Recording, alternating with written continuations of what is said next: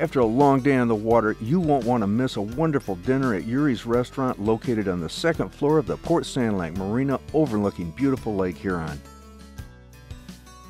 We have people that walked in here, I don't know how many times this week, and said, We're coming into town visiting, and we heard you had some great food. We wanted to come and check you out and make a reservation. They're from way across the state, they're from Canada, they're from, you know, all over the place. I think you just need to make sure that people are welcomed the minute they walk in the door and they know that they're going to be taken care of, and that's one of our our things. We have everybody comes in here and they said they just love the the atmosphere, they love the staff. I think having all those good things and making sure people are comfortable and happy when they leave, that's one of our our goals. And if you look across Lake Huron here, we're right across from the Bruce Peninsula, which seems like miles and miles away when you're looking over the water. But if you get in a car, you're talking an hour away, and you can be over in Michigan. Totally different country, totally different atmosphere, and then you can go right back home. So we're seeing more and more of that, especially with the Canadian dollar being as strong as it is. We're seeing more and more Canadians come in.